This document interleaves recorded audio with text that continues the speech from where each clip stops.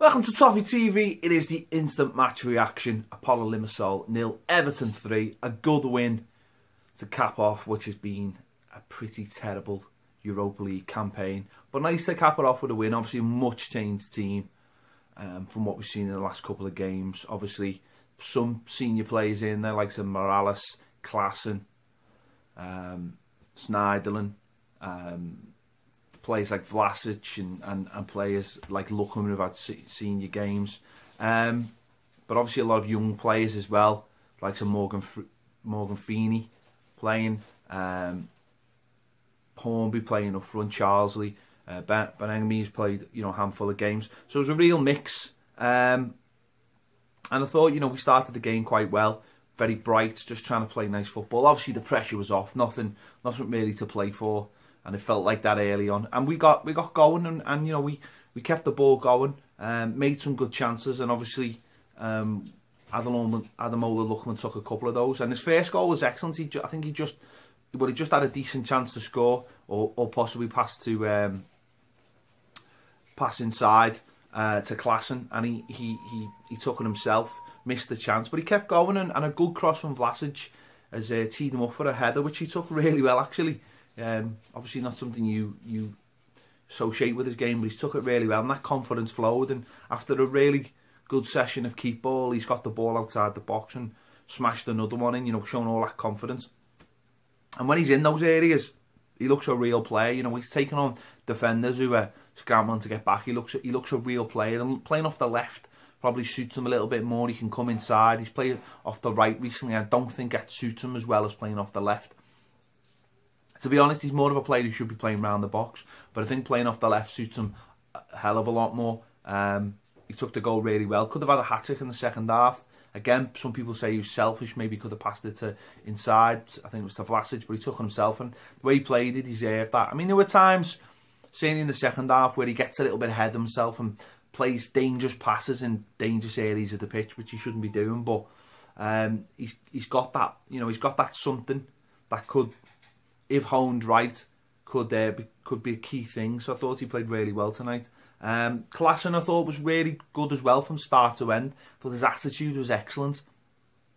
Always in the right place, using all his experience. Um, always there with like a winning tackle or just get himself in the way. In fact, if you watch, if you watch um, Lookman's second goal, you take it back all the way to the start. It's just him forcing them to give the ball away by being in the right place at the right time. I thought he was excellent all the way through, really consistent performance. And he, he's one for me, I think, that could force his way back into the first team. I think now that other players have settled in, I think if there's an opportunity, I think he could take it. I think he's got the will to want to achieve at Everton Football Club, and I really hope he does, because I think he's, he's got the right attitude completely, um, where others maybe haven't.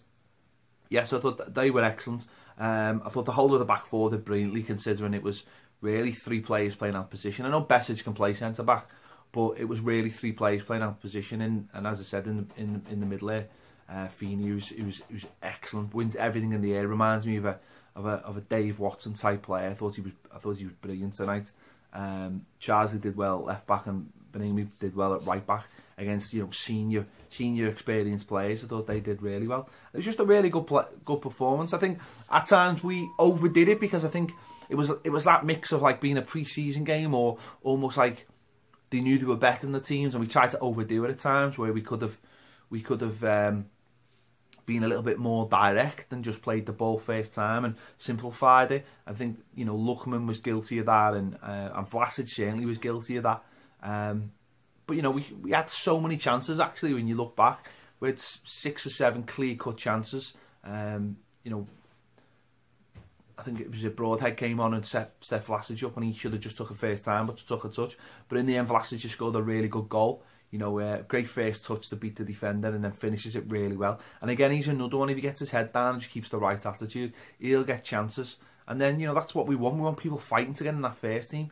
You know, no one should have, um, no one should have their place set in stone. There's there's opportunities there for players, and some players tonight I took them. I thought Snyder did all right as well. Bit strange to see him as the captain, considering everything's gone on, but I thought he did okay. Showed us all his experience, especially in the second half when it was getting a little bit ragged and they were having a little bit of a go and they was they were throwing themselves around to win fouls. Um, but but um, you know they they've kept their heads and, and got through and, and won it comfortably in the end. So good performance. Really good to see so many young players making debuts. Sixteen year olds coming on and.